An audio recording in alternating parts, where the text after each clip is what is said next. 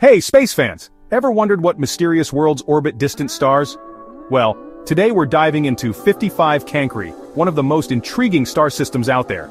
Located about 41 light-years away from Earth in the Cancer constellation, 55 Cancri is a binary star system made up of two stars, and it's a whole lot older than our Sun, around 7.5 billion years old.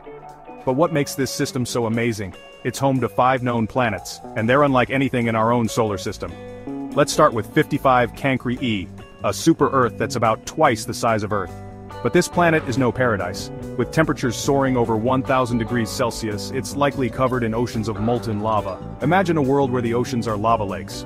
Pretty wild, right? Then there's 55 Cancri F, one of the outer planets in the system. It's freezing cold and incredibly far from its star, making it a mysterious frozen giant. Scientists still aren't sure exactly what's going on there. And the other planets in the system?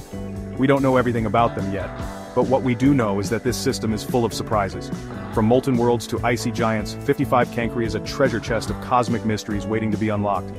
The universe is full of wonders, and 55 Cancri is just one example of how strange and beautiful space can be, but what other secrets are hidden out there? We're just scratching the surface. If you love exploring the wonders of the universe, make sure to like, subscribe, and share this video with your fellow space enthusiasts.